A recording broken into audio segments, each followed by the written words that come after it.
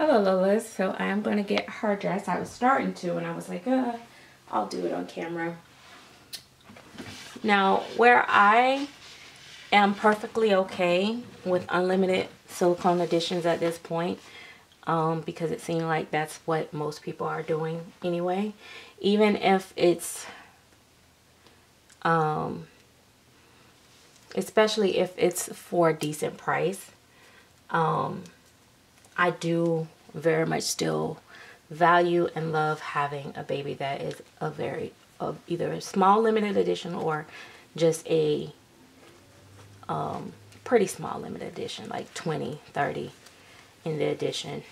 I think that's a lot for full bodies, but um, in the big scope of things, it's still limited. like 20 is still, you know, not a whole lot compared to wide range. So she is a sold out edition. Um, Jennifer Costello decided to do her as a sold out edition. I mean, not as, as a sold out edition, that was our choice. Um, she decided to do her as a limited edition. And I really appreciate that because I know that they, you know, a lot of sculptors, they're like, I can get more money if I just keep running the kit, especially if it's, you know, one that people actually is liking. And they can cut the price and you know yeah. So I get I get the the financial standpoint for the the sculptor themselves which is why I don't fuss as much about it. I just you know if I want it I buy it. If I don't I don't. And that's just the way it goes. I'm not going to how does this go? Oh, this, does this go to this? I think so. Um, I think this Jamie Kay is some of the stupidest wraps. I know everybody be hyped up on, on Jamie Kay. I, I have a one friend that kind of started me looking at Jamie Kay, but I feel like the way she puts her clothing together makes it look really good. Like it looked like money when she do it. I feel like mine look like great value when I do it. One partially because I don't, um, I don't know, I'm not that moved by. But I do like the way their clothes fit the babies. But they're very expensive. And I, it's not my thing. But I had a couple pieces that I got at one point. So I still use them. But yeah, so I, you know, I like a limited edition. I wish that there were more out there.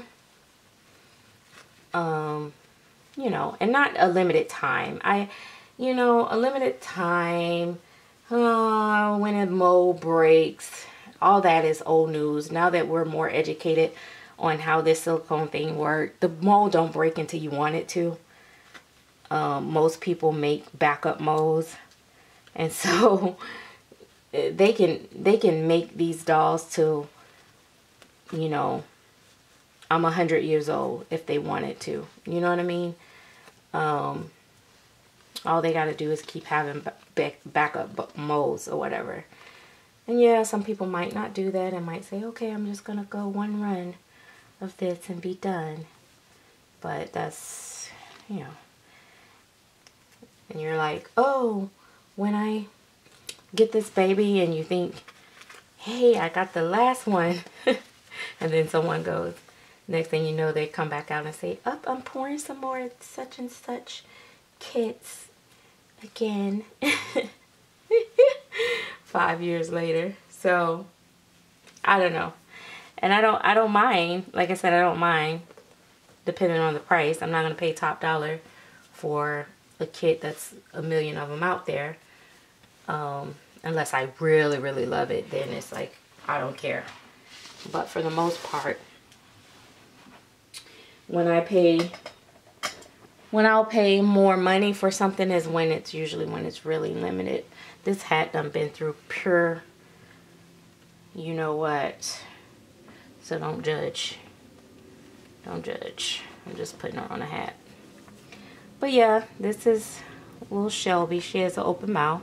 She has a tongue. Does she have gums? No, she don't have a top gum. But her mouth is sculpted in a closed position. That's another thing I like about silicone. Some silicones are sculpted in a closed position and I really like that. Um, this has a very preemie size nipple. This one is even more narrow.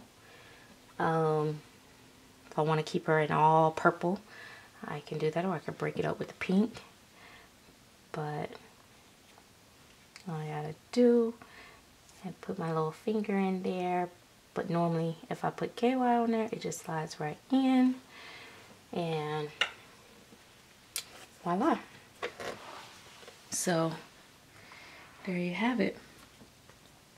I am almost finished with her hair. If you notice most of my babies in my personal collection they just I'm doing better though because I'm getting to a point where like I can have them with you know their hat off.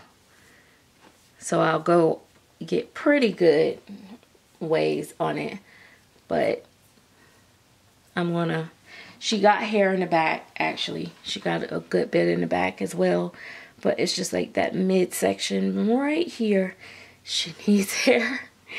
And so I'm, like I said, she's gonna be in line. I have Brianna slash Emmy, my full body. I'm finishing up hopefully in a couple days. And then I have, she's sold. She has mommy. Um, and then I have, um, I'm going to finish uh, Leela next because she's the second prototype. And I'm going to get her finished. And just FYI for those that may not know, um, when I work with certain sculptors or artists, or sculptors I should say, um, sometimes they tell me I don't have to root them. I can I can do them as ball babies if I want. Um, so when you see me taking my time to root them, it's because I don't have to. Um, everybody have different requirements for their prototypes, and I guess it depends on who you are and you know how you market for them and apparently my marketing strategies work um, and I'm gonna tell you why they work. Um, because I don't just do prototypes just to do them. Um, just for a free kit. I take on projects that I actually want to do. And so I rather it's a challenge to see if I can make it look different or if I, you know, really, really love it for my personal collection. Um, I'm not going to take on something that I can't sell myself on, much less sell somebody else something. So um, when I have one and I share it with you guys, it's something that I'm genuine about. So it doesn't matter if they're in fancy smancy clothes or just their onesie or whatever because at the end of the day, all that stuff is an attraction to the baby and it does make people stop and look, but they're not buying the clothes. So when you're marketing for a sculptor, you know, that's why like I'm like when I see people saying they have a doll up for sale and it's a full body and it's fully clothed, hand socks, baby dress like this and it says it's up for sale, I'm not going to even if all the pictures are like this, I'm not even finna look at it. First of all, why is it got a pacifier in the mouth? I can't see what the mouth look like because that could change the look of the baby. Um, I can't see the, the the body style. I can't see if if it has armpits, not have armpits, if the arms are attached to the sides. I can't tell, you know, what the legs look like, what the feet look like. Like, this is not a, a good example of a, I'm trying to sell you a baby type thing. Full body mean I need to see the full body. So anyway, and with silicone I like seeing movement videos as well. Um, so, you know, everybody does their thing differently and everybody have a different audience too. So a lot of people, um, especially prototype artists, they cater to their audience and their reach within the community. So, um, anyway, I don't know. I felt like I need to say all that, but um, that is that is why sometimes you may see my prototypes take a while. Now, if I was planning on selling them right away, then of course, then they get painted, rooted right away. And some of them I do right away anyway, depending on time. Sometimes I accept them when I already have other projects going, which is what I did with Leela. And she just ended up kind of skipping past the line of getting painted before um, some of my other obligations. And um, so anyway, but it's it's it's it's fun. I love love these babies. But so anyway, so it'll be Emmy, um, Leela, and then I'm gonna finish her here, and then I'm going to uh, be rooting probably whoever get finished first. My Neely or my Mavery. I don't know which one. But whichever one get finished first is probably to get rooted first. And I've been uh, looking at different hairs and stuff like that. And also I've been trying to root different hairs with different babies to see how it's to work so I can have an idea. So when I get to certain babies, I know what hair I want to use. I am not good with picking out hair as far as like looking at it and saying, oh, this is going to be super curly or this is going to be wavy. Like I go off of what they tell me it is. But then sometime when you root it, it don't curl the way you had envisioned it to curl or wave the way you envision it to wave or lay the way you envision it to lay. So, but luckily I've been doing really good with um the the hair that I've been using. I really like it lays and curls, so I love that.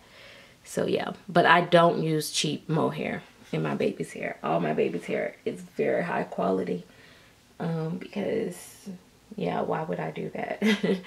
why would I not put, you know, the good stuff? But anyway, once again, another video is completed. I know you guys are probably like, where is the new boy? He's coming. He's coming. I'll see you guys in the next video. Thanks for watching. Bye-bye.